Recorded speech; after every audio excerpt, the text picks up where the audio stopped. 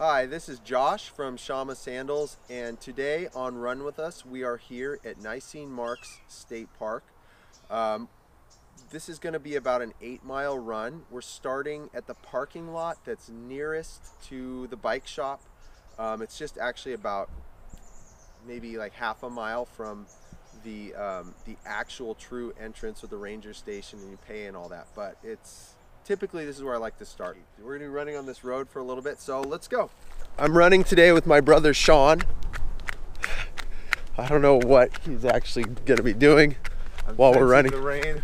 he's sensing It's the rain. way. so anyways here at um, Nisene Marks is a great run. It's one of my favorites. Uh, there's a few reasons why I really like this run. One is it's pretty flat. It's pretty easy so if i've been burning myself out with you know running in the mountains a lot and and a lot of really difficult runs like the pipeline or the la Viega or something like that i'll come out here and it's just an easy mellow run. And you can run a long way. The other thing is you might notice the weather. It's foggy. And it's like that a lot here. So it's usually a little cooler even in the summer when it's sunny out you're still going to be getting a lot of the trees and stuff. Morning. And a lot of joggers here too. Great place to jog. A lot of friendly people. All right sean. Sprint through this thing. Ah, sean. Sean is in peak physical condition. Bryce and I had an intense five workout on Wednesday. Did and it's really? not going to be good for sprinting today. Did you really Oh, have why? a Did you really have a thigh workout? Yeah. We watched crushed melons. Oh my goodness. All right, so up ahead, it's the uh, park entrance for the ranger station. A lot of times we'll be coming back that way, but right now we're gonna go down these trails um, that are gonna kind of skirt the edge of the road, kind of between the road and the um, Aptos Creek. So that's where we're going. We're taking a left here.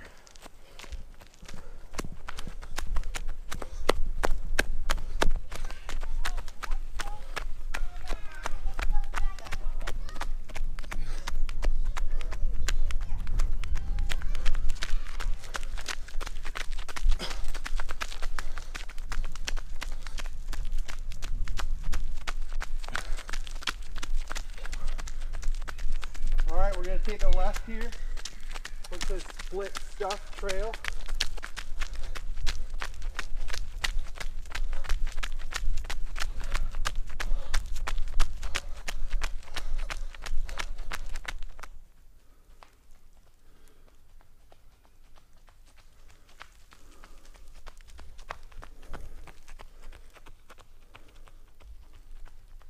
They made fun of us for wearing sandals. They did make fun of us for wearing sandals. Yeah, I heard one of them. That never happens though, Sean. No, people are much nicer than that. Actually, they aren't. People aren't nicer than that. In any case, um, yeah. So one of the cool little benefits of um, skirting the road here on this trail is that you get to run through the redwoods, well, and these oaks. A lot of cool little trees. The path, the trail is real nice, well kept, and it's fun. A little variety. And then as we get a little farther in on this run, we're gonna get down into the creek bed for a while. So here we go.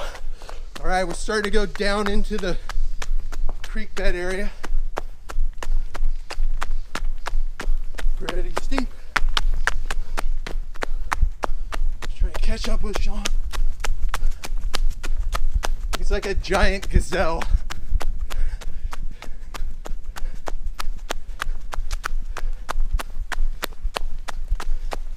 I'm gonna have to actually run to catch up with him. Here we go.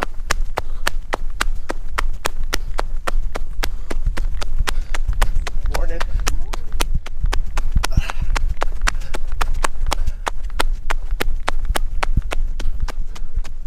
Oh shoot. He's doing it again. Not letting me catch him.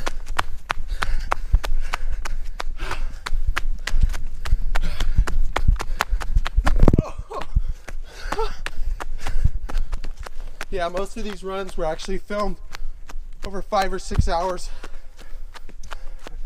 with them We have a walking. film crew that drives us places. That drives us to the next, the next run.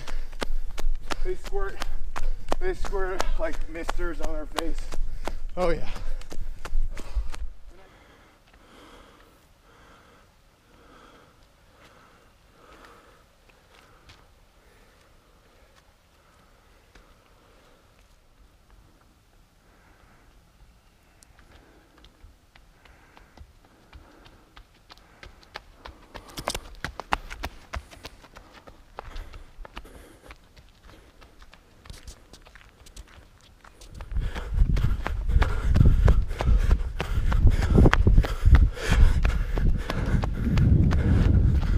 That was a good bench.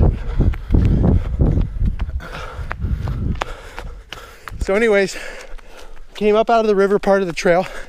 Now we got back onto the main road and we're crossing the bridge. Really cool bridge here. Hey, you're not running. That's true, I'm not running. Really deep ravines here. Yeah. Pretty neat stuff. And added benefit of this time of year, the maples are starting to turn a golden color, some of them. It's pretty And that's why Sean comes out here. Yeah. I just, I don't really like being cold, but I love fall because I love the process of warming up. That was real. No. So I like fall because it's the most contemplative of the seasons. Hat tip, Michael Scott, Dunder Mifflin. Why don't you go write a book about it? I might. I actually really do like the fall though. I think everyone does. All right. So here we are, and uh, kind of running on this straightaway here. The road's gonna be about like this, pretty mellow for a while, and we're gonna jump back on a trail about a mile and a half. Until then, we're just gonna be on the road through the redwoods at Nisene Marks.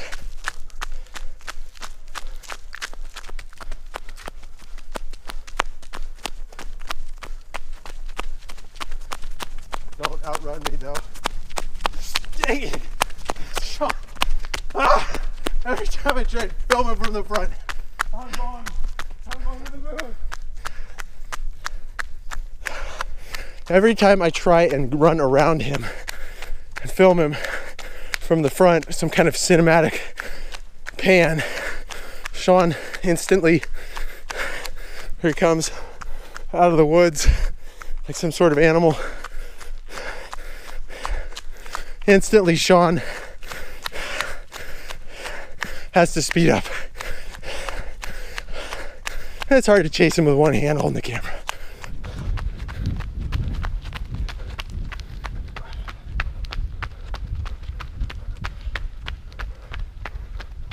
All right.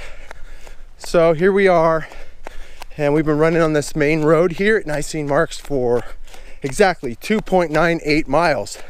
So today, first day with my handy GPS watch, and I'm really excited because I've been running uh, Nisene Marks for years, years, and the thing is that um, I'm going to stop here The thing is, so I'm exactly three miles. Um, and this gate, this gate with all these mile markers and stuff, this is the the second gate here at, Nisene Marks. And I've always estimated it to be three miles, you know, based on the road signs and all that kind of stuff. Because I never run with a GPS watch or anything like that. But I'm always curious how far I'm running, and it turns out we're like right on three miles. So um, I guess I should be trusting the the road signs here, and I'm super stoked to have this watch. It's gonna be really helpful. All right, so now we're gonna go through the gate, and we're gonna stay on We're gonna stay on this road for probably you know two tenths of a mile, and then we're gonna jump on a little side path. How tall is that, Sean? I don't know. Was that easy? Yeah. Yeah, if I'd gone on the other part, I don't think I could have made it, but I think that was about short end. three and a half feet tall, four feet tall. All because of your Shammas, right? yeah, There's no way you could have done that otherwise. just like Pia flyers.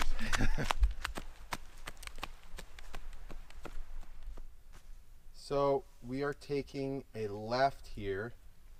Sean's still running, right, I'm Sean? Still running at this very moment. Okay, so we we've been coming down this main road towards. Um, we're actually getting really close to the creek. We're gonna come back over the creek on our way back. But right now we're taking Loma Prieta grade. Just want you to see this here, and we're gonna make it to about the Bridge Creek Trail, and uh, from there we're gonna cut back and take the road back. In the meantime, we're gonna be running on this awesome trail. It's just killer through the redwoods. Nice, nice path. Um, it's it's a lot nicer than the road we've been running on, where there's big chunks of gravel. This is just like it's like butter because there is uh, all this redwood leaves and material on the ground, so it's pretty soft. Sean's gonna practice his ninja skills. Unbelievable. All right, we're running on the trail. Sean's, Sean's getting his bow workout.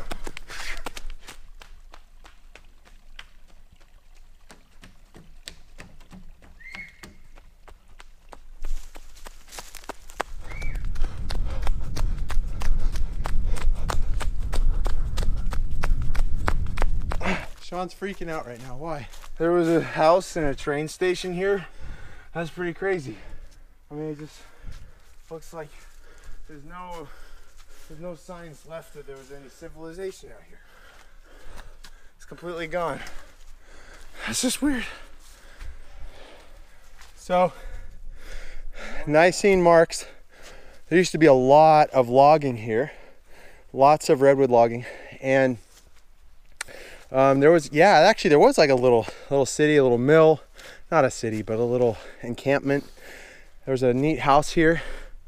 How nice this house looks on the inside. It's pretty cool.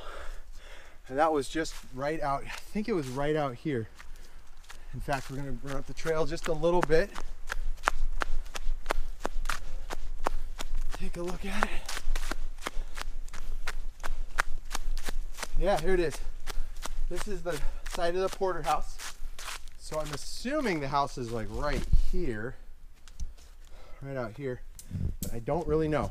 In any case, at this point we're gonna travel down this path and it's gonna take us across a little bridge over there. And then we're gonna start heading uphill again on the road and we're gonna reach the third gate. And that's probably where we're gonna turn around. That'll be our marker that we're about eight miles. Actually, we're four miles in right now, so um, maybe it's four and a half miles.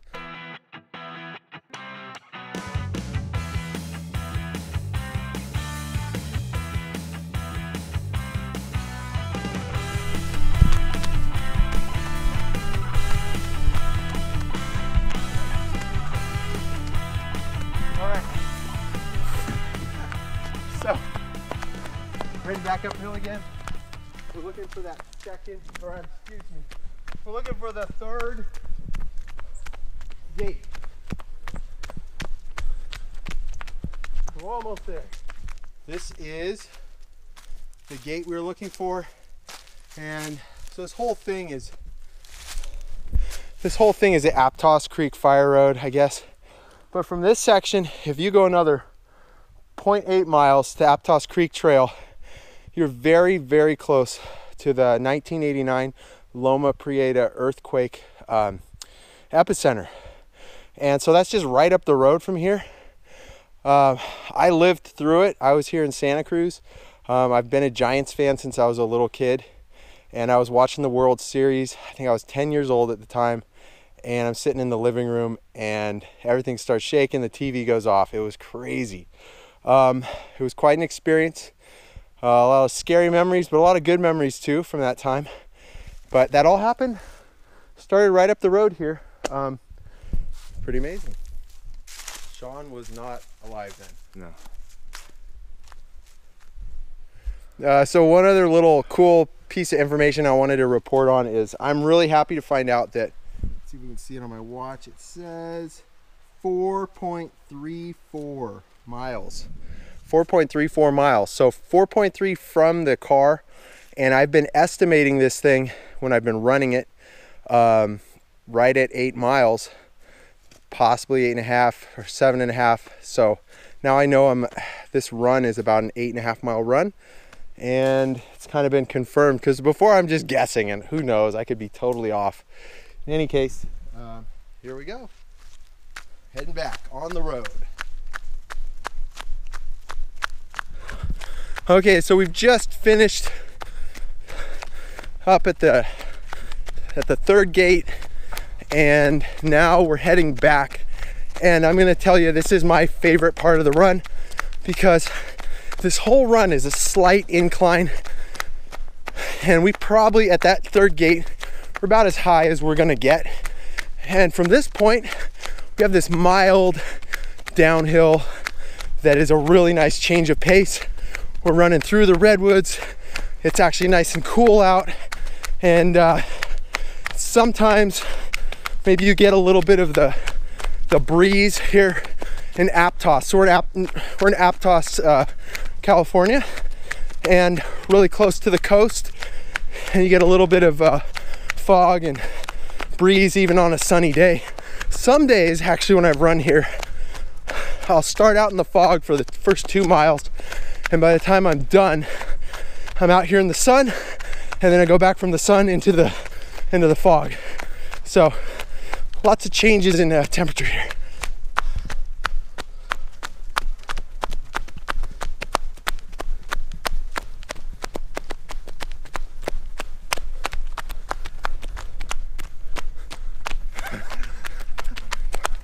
I always feel like somebody's watching me. Cause I am Sean. I'm really watching you. Oh gosh, get away. You're such a creeper. Let's just get away from John. Definitely fall. I can smell the pumpkin spice lattes already.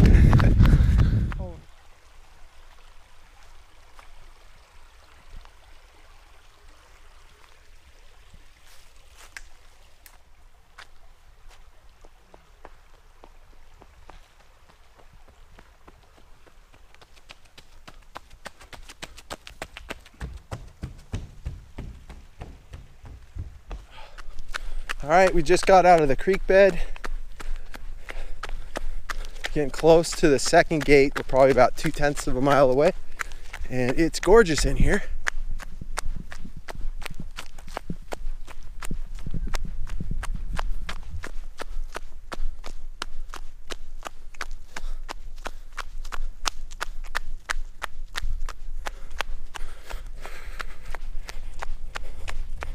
Catch up to Sean.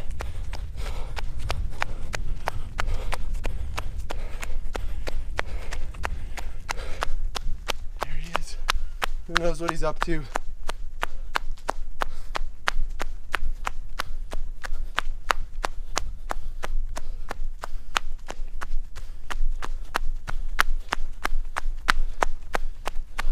What are you doing? Sneaking off, Sean?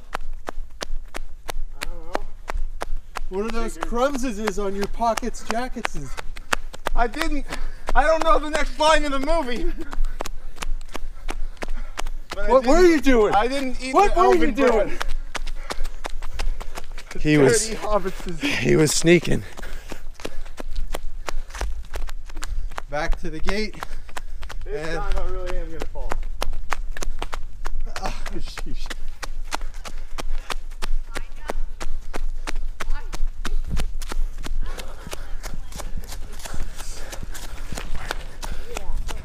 Um, this is really random. All right, Sean. Random. Let's hear it. I was trying to talk to you, not the camera, Oh. but Go ahead. I was just my brain was going over things because it does that. Okay, your brain And there's thinks. Got guy- it. Uh huh. I read this article about the guy who invented ramen, like instant noodle ramen. Uh huh. I'm sure this will be good. His Continue. Name was, his name was Momofuku, and I just realized that that means peach wind. Peach wind. Oh, okay, this is all making sense. Continue. That's all. I was just like, I wonder what that means. For some reason, it came in my head. Morning. And I was wondering what it meant, and I just kind of made the connection. Fuku Yeah, that's a good connection. blow, like it's the verb for blow, and Momo is is peach. All right, there's your Japanese lesson for the day with Sean here on Run with Us. I was trying to just talk to Josh about that, but I can I can feel the subscriptions rising right now, Sean. it's not going to be pure this time. It's not pure. No, it's over. so over. Sean gave a pure expression. I mentioned a, spi- uh, a breaded chicken sandwich at Carpo's. It was spicy, and it had a it had this aioli sauce that it was spicy, Sean. I kept cutting it with barbecue sauce. In fact, I had barbecue sauce, and I was just adding a little bit of the aioli to the barbecue sauce, and it was still hot. I was feeling that thing for quite a while, but it was amazing. It was a huge chicken breast, and it was like super thick, crispy, breaded part. The point of this is that I reacted with hunger immediately when you said it. Well, uh, try and recreate it, Sean. It's not going to be this. No, I don't care. Sean, um, I was at Carpo's the other night, and there was a spicy breaded chicken sandwich. Oh, That's not even close.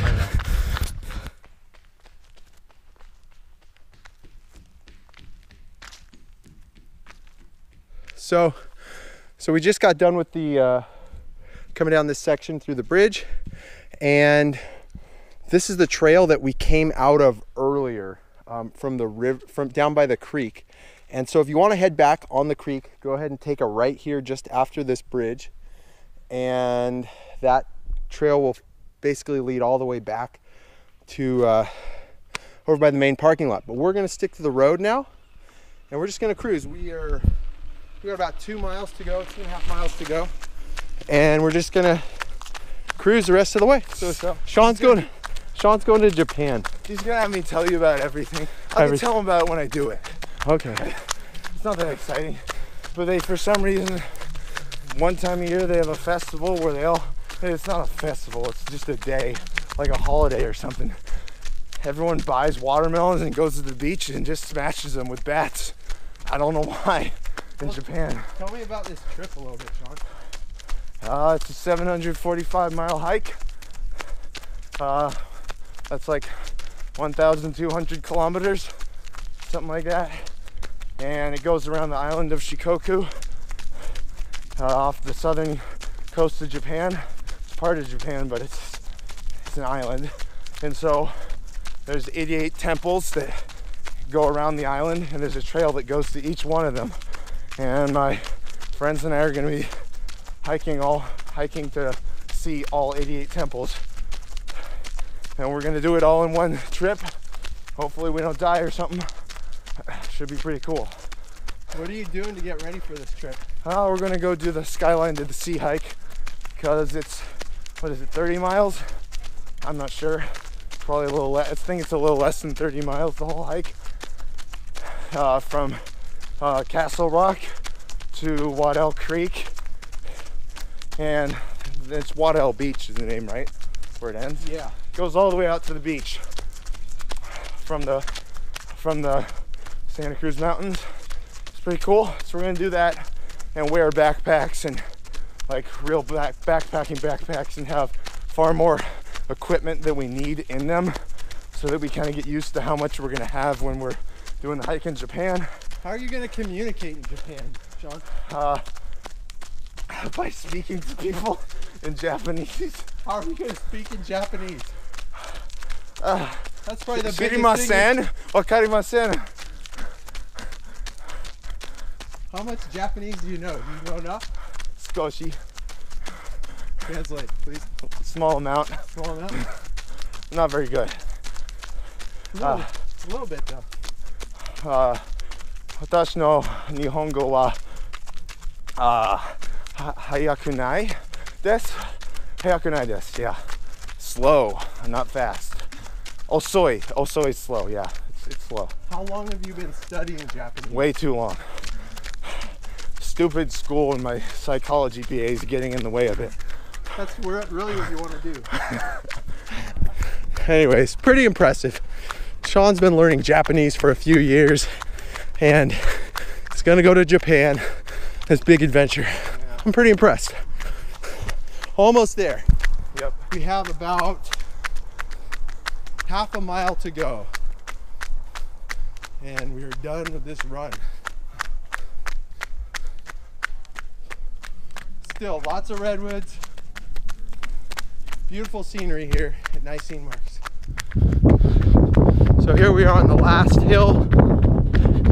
And I really like to, yeah, push it a little bit, not too hard, but gonna push up this last hill. And then we have one last straightaway to the parking lot. We've run just over eight miles. There we go. Pick up the pace a little bit. Have a nice strong finish to the parking lot. Here we go.